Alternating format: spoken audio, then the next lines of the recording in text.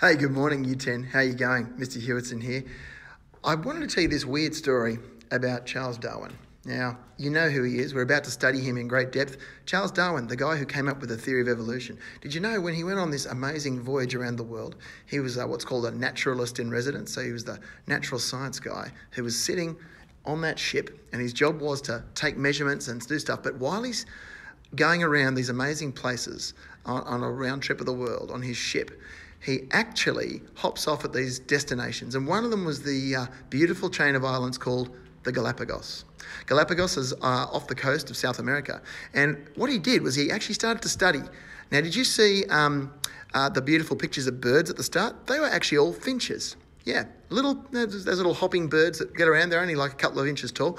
Anyway, he knew what a finch was. He's from England. They had finches there. But what he started to notice was this weird thing. He started sketching and writing down. They all have the body type of a finch, the general layout, the symmetry, the same feet as a normal birds, normal finch birds. But he starts to notice they're really varied. Like unusual varieties of a finch he's never seen.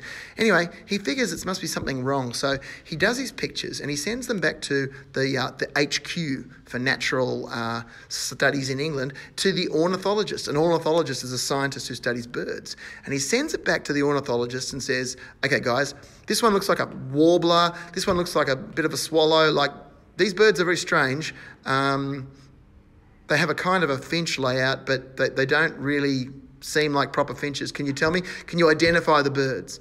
And he receives mail back from the expert scientists in England. They know birds back to front, right? It's their life's work. And they say, no, they are not warblers. They're not swallows. They're all finches. Every one of them. And Darwin has a, like an epiphany, an amazing moment where he realizes, wow. So this one little species of finch that must have started at some point has diverged out over some strange process, and now the species are changing. They're greatly varied, and there's all these clever variants. Some of them have really tiny needle uh, beaks. Some of them have a big fat beak for cracking nuts. Some of them, um, you know, have a rounded shape. Some of them are triangular, and he details like many types. I think uh, about nine decent, distinct types, but they're all the same species. And this is where Darwin starts to realize, aha, what if what we believed in natural science about species, which is mainly that they are created, that they arrive here, there's all the fixed species, and that's what they are. They just they stay the way they were made. And he has this new idea, evolution, which is maybe species aren't fixed. Maybe species actually change over time and vary. And that is what evolution is in a nutshell. Whether it's tiny little finches or whether it's like these unusual skulls. You see these?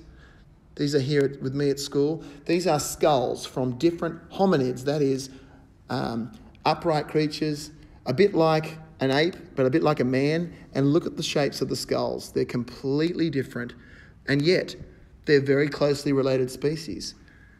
Back to Darwin's idea. And this is what evolution's all about. We're going to be learning about it all term in the new topic, Life on Earth. Looking forward to seeing you in the live stream. Bye.